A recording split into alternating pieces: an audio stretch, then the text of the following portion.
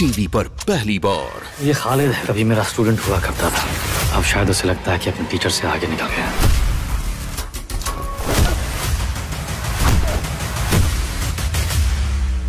War 22 मार्च दोपहर 12 बजे stock gold पर।